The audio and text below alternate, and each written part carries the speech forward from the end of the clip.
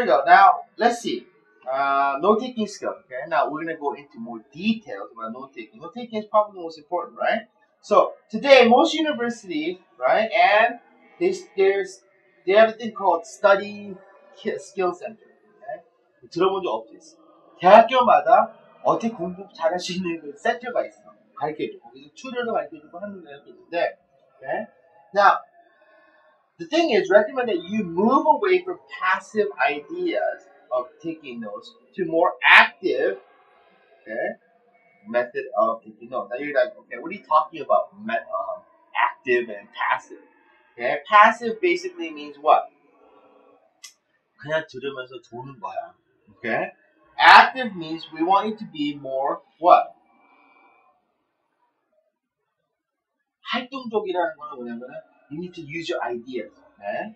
You can use graphs, pictures, right? Okay? Basically, you can have intellectual. Use your brain when you're taking notes. Summarizing in your head. Don't try to write word for word. Now, there are two different things. There's the intellectual and graphic. Let's see. Let's see what the intellectual is.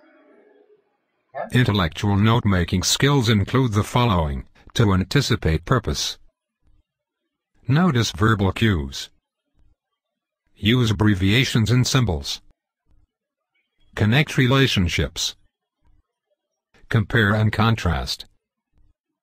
Identify cause and effect. Find the problem and solution. Classify groups. Define terms. Record sequence. 그러니까 이거 되게 중요해. 괜히 얘기하는 게. 왜 그러냐면은 this is active. Okay? passive는 이런 거 안 해. 그냥 얘기하면 적는 건데 이거는 굉장히 봐서 anticipate purpose, right? 이 생각하는 거야. 어, 이, 이 내가 목적이 뭐지? Okay? verbal clues. I'm living today. Okay? Because, right? Uh, rhetorical questioning. Well, does, does anybody know how wind goes about uh, in a particular speed? That's introducing a main idea to a question, rhetorical question, right? Okay, abbreviation symbol, you need to use it. Okay? Connecting relationship, we talked about this before, comparing, contrasting, right? 그리고 so identify cause and effect. Okay? 근데 여기 두 번째 problem and solution. Okay? okay? You're gonna find out what the problem is and why the solutions are there. Okay? Now classifying group, you're gonna say when you're listening, oh this there are two there are two different styles though. Because then you automatically put two different styles and you list it. Okay? Define terms. Okay? These are your definition. These keywords go with is, are. Okay? Record sequence. 이거 먼저 두 번째. How to put, uh, how to assemble a microscope. Um, step one, step two, step three. Record those things. Okay? And these are really important. Okay? What time was graphic? Graphics note-making skills refer to the specific format or style you decide to adopt. This may vary depending on your learning style, your purpose and your habits. Some options are Cornell method, column form, paragraph form, concept map, mind map, Venn diagram, many others. Now, like I said, graphic, right? Uh, note taking has different ways, right? Now, graphic means it's basically how you note take on your paper. You're graphing it. You're taking listening and actually writing it down in an outline form. Okay? Now, the most common one we, we mentioned was Cornell okay, method, right? The Cornell method, right, is basically, uh, let's take a look at it right here. Okay, this is Cornell method, okay? And you can actually see up here, right? You have, you have 2.5 inches on the left hand side, and then you take notes, okay? Now you can see for the main idea, major points, right? But why do you think we have the left hand side at uh, two, two and a half, like a little bit, two and a half uh, inches away? Because if you refer back to it, you can put more notes into it so that it points to the right direction. It's organized. Okay? There are other forms, right? Let's take a look at uh, another form. Here we go. Paragraph form. Okay? You can kind of look at it, right? Now, this kind of looks like kindergarten, doesn't it? When you were a little child, right? 어린애 때 한 거잖아, 이거는. 지금 뭐 왼쪽에다가 메인 포인트 적고 오른쪽에다가 데피니션 같은 적는 거, 뭐 리즌도 적는 거잖아. 이 방식도 이걸 쓸 수 있는데 is it effective? 지금 소용 있는가?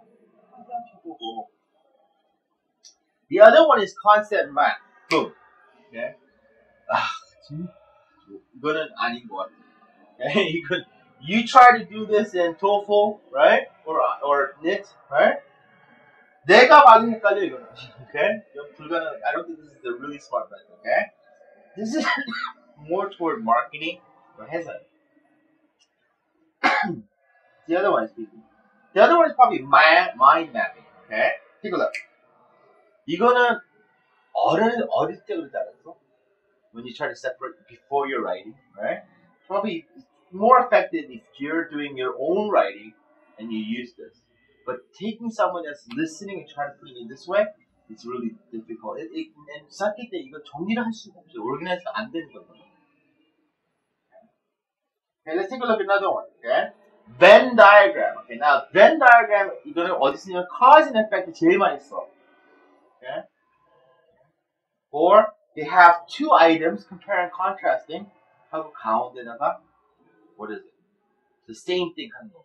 세 가지. Okay? 근데 이거는 거의 토플 다안 써. So the best method we're gonna go back. We're gonna probably is Cornell form. Okay, 그게 이 방식 전적이고 그러고 plus what are we gonna do? We're gonna integrate David's method of listening. What is that? Okay, first of all, quick and easy listening. What is it? Anticipate purpose. Notice verbal clues. Okay, use abbreviations and symbols. Okay, connect relationship. Compare and contrast. Identify cause and effect. Find the problem and solution. Clarify groups. Define terms and record your sequence. Okay? So that's probably the best way to do it. 이 방식이 제일 좋은 방법이에요.